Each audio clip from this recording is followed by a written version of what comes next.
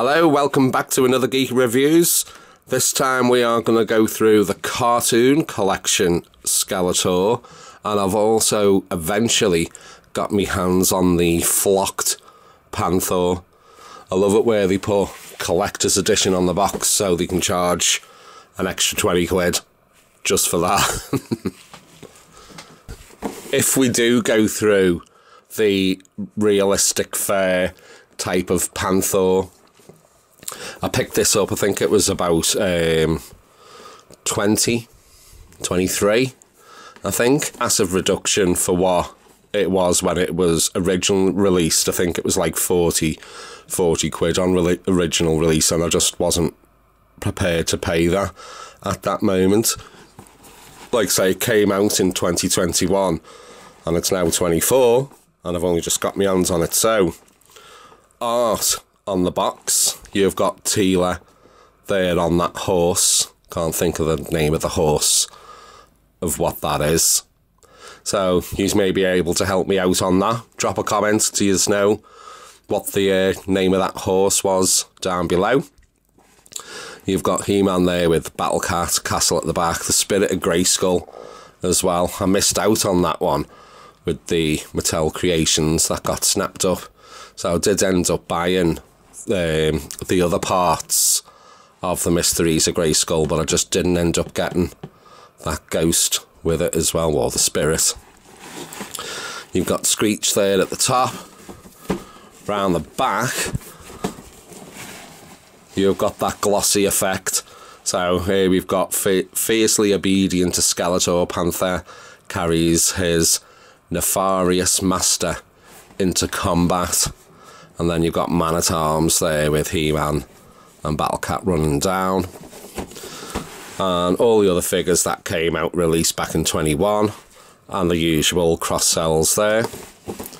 Round the side, you've got Fisto and that, um, what do you call them? So half human, half horse type of people. Never seen that.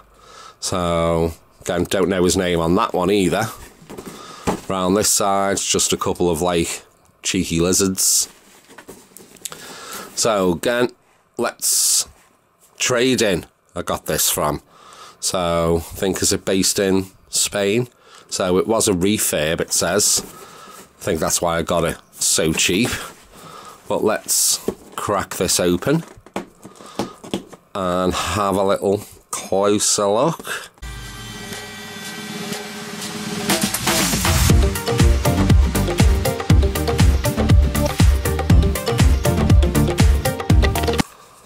Now that's nice. Okay, so the articulation on this is the same as the original non-flocked Panthor. You've got the head bobble, the jaw moves up and down, the legs back and forth, little joint on the knee. I'm always gutted that he didn't put the joint on the actual paws of this. They are fixed. So even if you wanted a pose Oh, let's just click that. You can tell this hasn't been turned. So, but even if you wanted to pose, the pose, they just stick out. Although I quite like that feature there underneath. God, it feels fabulous, this. I just wish there was the um, the ball joint on the pose so you could pose it a bit more. The tail does twist round and then this seat, whatever you call it, is on that little clip. So let's just whip that off. Ooh, very nice. So the little carriageway he sits on, it's just the hard type of plastic. Slide that back on. Just bring in the other Panthor for some comparison for you as well. So although you can see the the fair texture, it just doesn't compare to the actual flocked. The mouth, like I say, the jaw flips down I think the the flocked version does look a bit darker. But the eyes are still that beady yellow. Same articulation on both as well. But yeah, the uh, the flocked far more superior to this guy. Bringing in the cartoon collection version of Skeletor, the evil Lord of Destruction. So it's got that blue type of packing art with the castle at the back there. Flipping them round, the card art is where it's got a scene on the masks of power, and which he does come with. So you've got them seen there glowing there, and then the two like little Egyptian type of guys, I suppose. So um, I reckon with these obviously being swappable heads, it would be good. I might end up getting some of the Sun Sunmen, more of the Sun Sunmen, and maybe doing a bit of a custom with the swappable heads. That's what I'm thinking on anyway. Don't like Hypno or something like that. And um, because they're going pretty cheap now, and maybe doing a custom with these heads. But he comes with a includes another comic book. You've got the cross cells there, and obviously the collection the first wave of the cartoon collection. So let's crack him out of his little plastic prison. Comes with the usual, like, origins, what parts pop off, and his comic. Oh, got a bit of cotton here. Going to fall to bits? Uh, wizards, a wizard, wizard's visit. Oh, look at that. So, because of that cotton hasn't stitched, fallen to bits. So, who else? Oh, oh.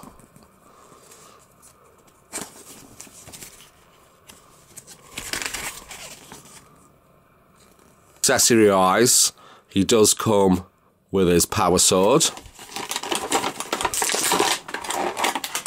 is Havoc Staff, which is just fantastic.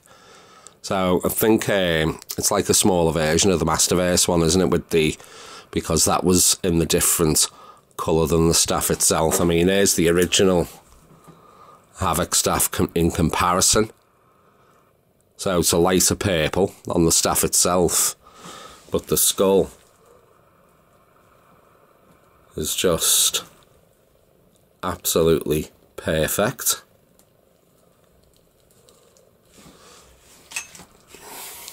And then the two heads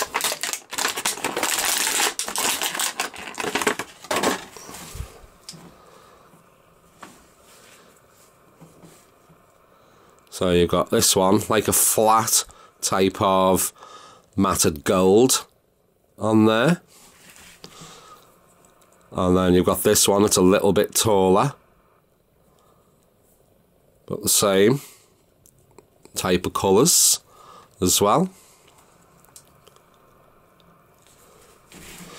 But Skeletor himself, I mean, I absolutely love this one.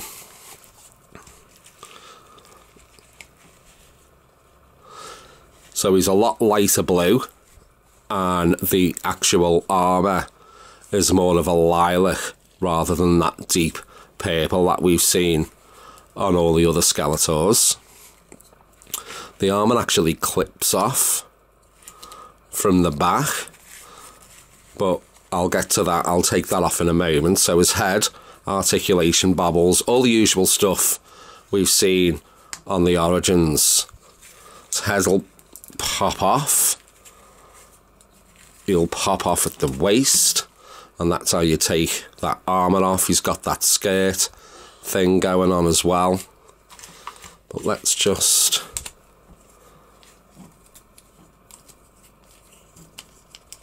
pop them back on.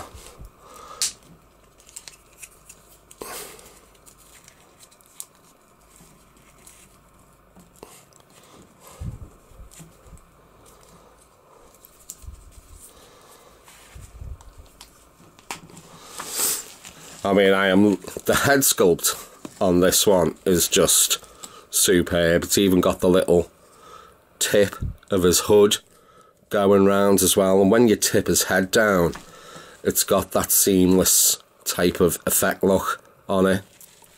You've got the centre crossbones. And as proper boots, he hasn't got that webbed type of foot. He's just got the boot on as well. I mean, bringing in one of the first releases, so with his open jaw as well, which I always thought was a bit weird, having that open jaw. I think it's quite funky like, but for the first release, a little bit weird. But his armour at the front, you can see this is a lot more, actually, well this is quite hard type of plastic. This is quite flexible as well. But you can tell the different colours there, even the bones on the on the cross there. They are a lot smaller than the original release and more of a plain detail on the waist type of stuff. I'm just loving the colour on this. So he's got the gripper hands for his little Havoc staff. And then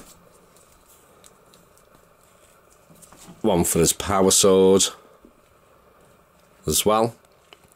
But let's have a little look at him with the the masks on. Let's go for this one first. Mumph. Quite funky. Let's have a go with the Origins one. So even the original Origins, you can pop the head off there. And they also do fit pretty good. Okay then guys, that's my little review of the cartoon collection, uh, Skeletor and also the Flock Panthor. Let me know your thoughts, drop us those comments. Do you feel as though the Flocked Panthor is in more superior than the first release? But what do you think of the cartoon collection, Skeletors as well? I'm actually starting to really like these ones now that I've seen them out the packet and got them in hand. Are you collecting them? What have you got so far? Drop us those comments, but do the usual while you're there. Do the like, subscribe, and tickle that little bell notification. And I will catch you on the next one. Take care.